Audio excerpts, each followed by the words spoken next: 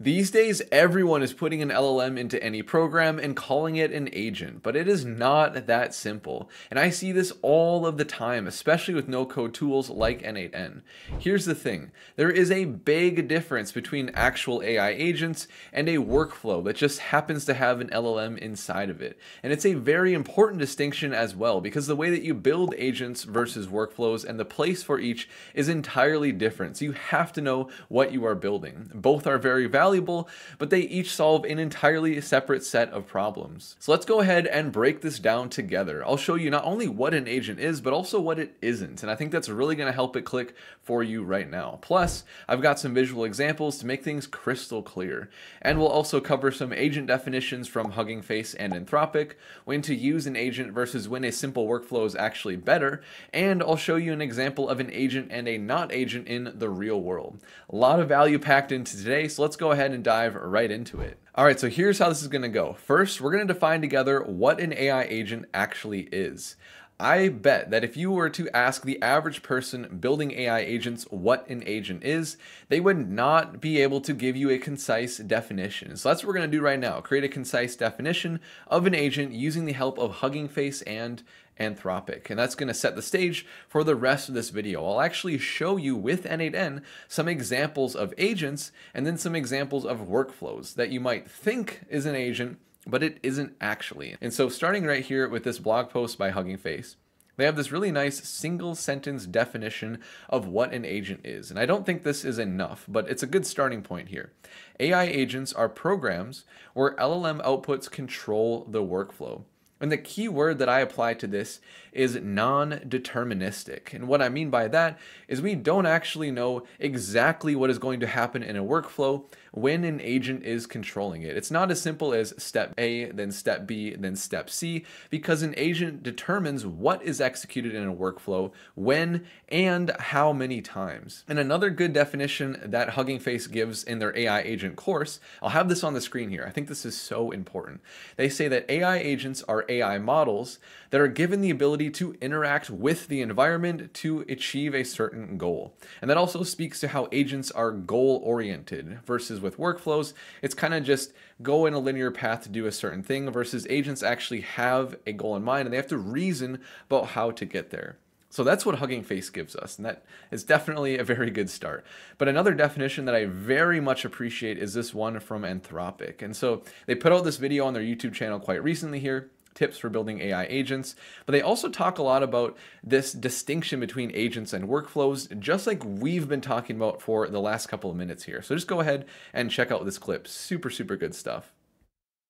Yeah, so I think something we explored in the blog post is that, first of all, a lot of people have been saying everything is an agent, referring to almost anything more than just a single LLM call. Um, one of the things we tried to do in the blog post is really kind of separate this out of like, hey, there's workflows, which is where you have a few LLM calls chained together. And really what we think an agent is, is where you're letting the LLM decide sort of how many times to run. You're having it continuing to loop until it's found a resolution. Uh, and that could be you know, talking to a customer for customer support. That could be iterating on code changes, mm-hmm. but something where like you don't know how many steps it's going to take to complete that's really sort of what we consider an agent. Yeah, that's just so good. And also that aligns very much with the definitions that we just saw from Hugging Face 2. And if none of this is really clear at this point, do not worry because the examples I'm going to show you in N8N I think are really going to drive this definition home. This whole idea of non-deterministic, agents determining what is executed in a workflow, and just the difference from a sequential workflow overall. So leading into the N8N workflows, I just want to show a couple of diagrams really quick because I know diagrams help me understand things really, really well. And if it does for you too, I think this will be really valuable because this really outlines the definitions together of what Hugging Face and Anthropic were talking about. Because essentially, an agent is given abilities like tools to interact with things like Google Drive or Slack, whatever it might be. They're given goals and preferences through the system prompt, and then prior knowledge as well through something like uh, short term memory, just with the conversation history, or long term memory with something like RAG. So all of that is given into this agent, and then it's able to perform actions in the environment to do things on your behalf, like draft an email, send a message in Slack, query a database, all those kind of things that tools enable an agent to do.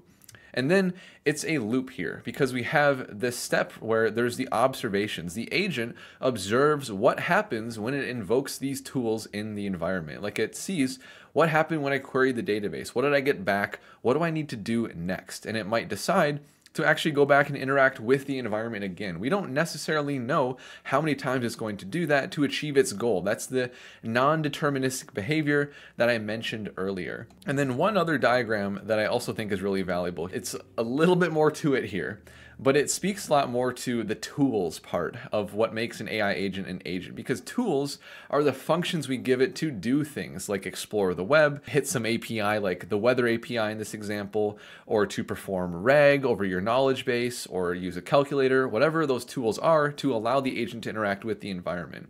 And so you have the user input on the far left side that goes into the LLM. That's the brain of everything that's deciding what it needs to do to achieve the goal the user gave it. And this is everything in its tool belt because maybe to get an answer, it needs to search the web or it needs to look in the knowledge base. And so it'll perform those actions and then the observations will go back to the LLM again to potentially invoke the tools again in that non-deterministic loop. Then the final results, after it decides that it's performed everything it needs to do to achieve the goal, it sends that back to the user. So with that in mind, I think we have a very clear definition of what an AI agent is and the different parts to it. So now let's go ahead and take a look at some examples of workflows that are not agents. So we're starting off right away with my favorite example of a not agent, as I like to call it the job of this workflow, and people build these kind of workflows all of the time, is to take a prompt from the user for a certain topic and then craft a post specific to X,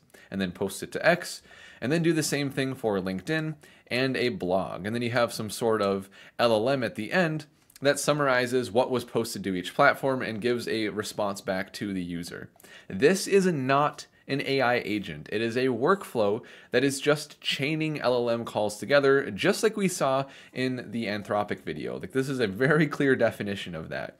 And the way that you can tell, this is why I love N8N. Wait, by the way, if you don't understand N8N or you haven't used it before, this is just so visual that I hope that this makes sense for you still. But I love N8N because it just shows how this is very sequential. You create the X post, and then you post it, and then boom, you just do the same thing for LinkedIn and the blog. There is no non-determinism here. You never would post twice to X or decide not to post to the blog for whatever reason. If you actually had those decisions here and an LLM was controlling that, then it would be an AI agent. But everything is just step A, step B, step C, and then you're done. It is not an agent. And don't get me wrong, this is actually quite a valuable workflow. I see people building these all of the time in Make and N8N and Zapier because it's really important to use some sort of LLM with a very well-defined system prompt to craft the message very specifically to each platform because what you post on X is going to be very different than what you post on LinkedIn. But it doesn't mean it's an agent. and so I can actually do a little test run here. I'll just say AI. Like write me an X post for um, AI and then a LinkedIn and then a blog post. And we'll see this work and like it works really well. And this is a good example of where a simple workflow is actually better than an AI agent. We could turn this into an agent where it would have a tool to make an X post and then a tool to make a LinkedIn post. And then we would ask it to do each of those things but we don't actually want that non-determinism because what if the agent, for whatever reason, completely hallucinated and decided that it needed to post to X twice or not make the LinkedIn post when we want it to? We don't really want to give the agent the option to control the workflow here. So it is better that we make it sequential and just make it a regular workflow here. So this is our final response. It gives us kind of a summary of what it posted to each platform. And uh, I mean, there's a little bit of glitch here, but yeah, you get the point of this. Like it demonstrates very clearly that this is like a really solid workflow, just not an AI agent. So with that in mind, let's go over to another example here. I'm going to do a little bit of a, a, twist on this one. So for this next one, I'm starting right here in the N8N chat window. And I want you to decide as I'm having the conversation with this workflow or agent, is it a workflow or is it an agent? And so what this one does, it is a tech stack expert. So I describe the application that I want to build, and then it walks me through some questions to help me figure out what technologies I should use for my front end, my back end, my database, all that good stuff. So I'm gonna kind of fast forward through this as I am talking to it, and yeah, make the decision for yourself. Is it a workflow or an agent?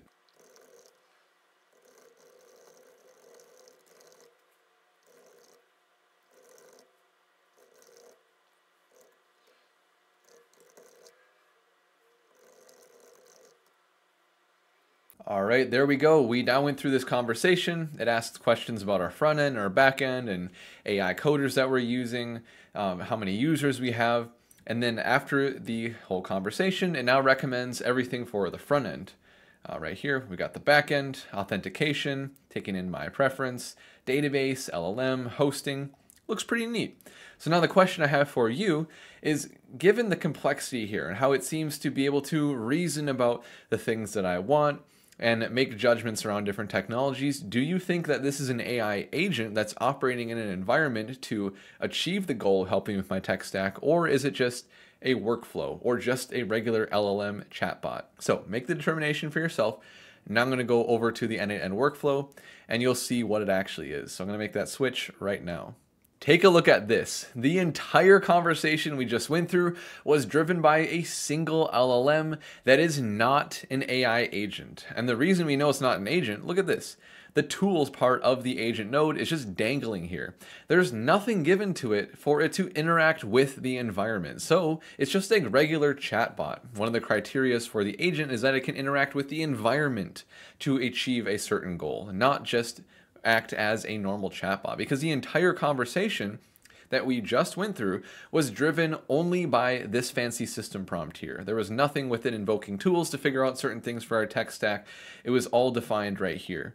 Now, the important thing is this workflow or chatbot unlike the other one, is non-deterministic. We don't necessarily know how many steps it's going to take for it to figure out what AI coding assistants we're using, because maybe we'll ask it a question and it'll answer it and then re-ask what AI coding assistant we're using before it goes on to ask us about our front end or our back end. So it is non-deterministic. We don't know how many steps this conversation is going to be until it gets to the point where it finally tells us our tech stack but it's still not an agent because it's not interacting with the environment in any way.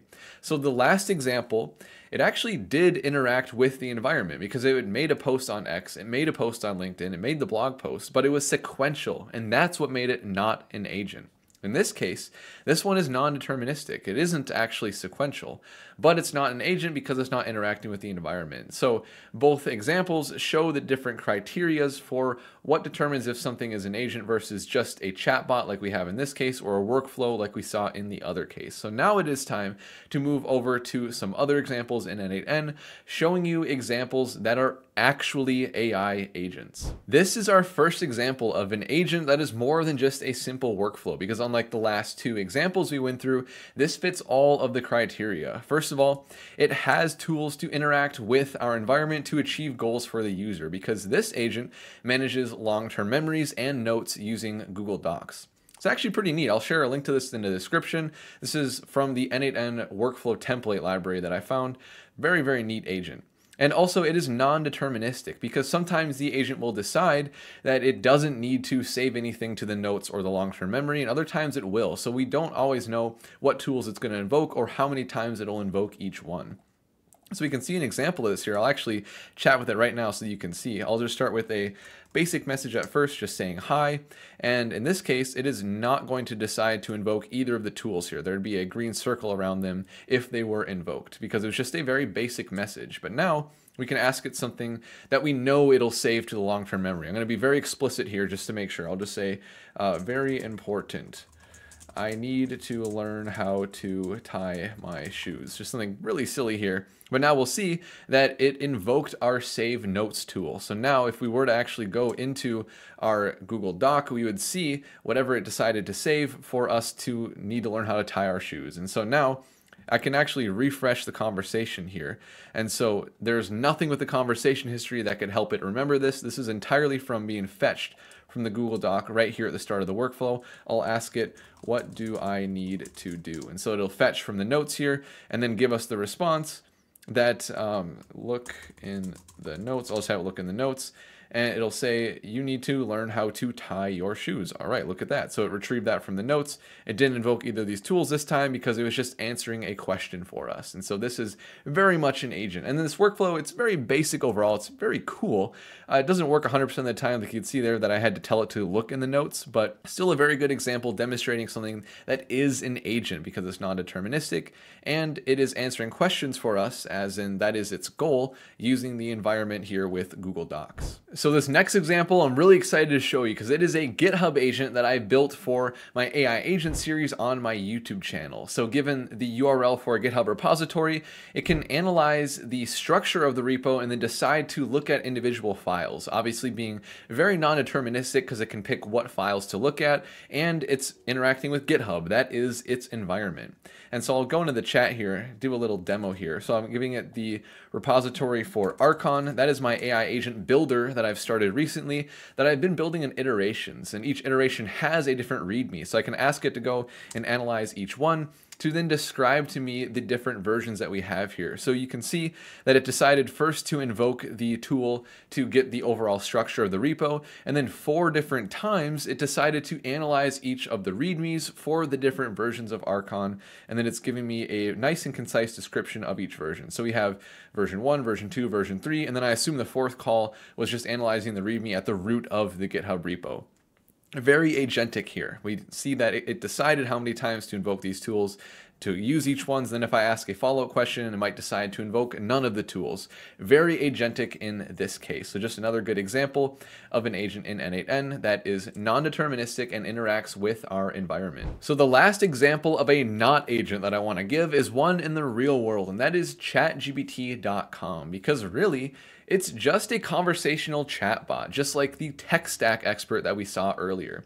Even when you have web search enabled, really it just searches the web, gives that as context to the LLM, and then it's not like it's an agent that could decide it needs to search the web again to refine its search or whatever it might be. So if I ask it a question like, what is the net worth of Elon Musk?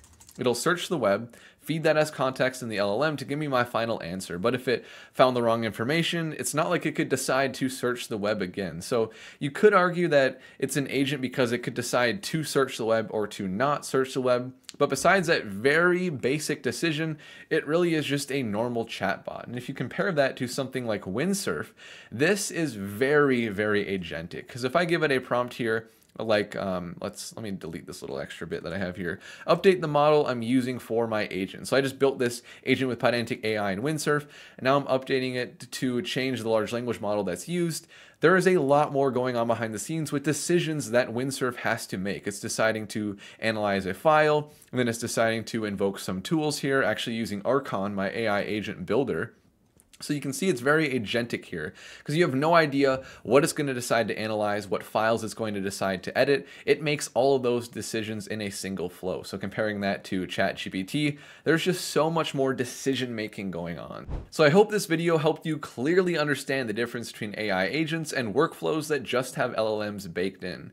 And both are very valuable, don't get me wrong, but I definitely see more of a future with AI agents. There's just so many more possibilities that they unlock so much power available to us now. And so that's what I focus on with my channel. So if you appreciated this content and you're looking forward to more things AI agents, I would really appreciate a like and a subscribe. And with that, I will see you in the next video.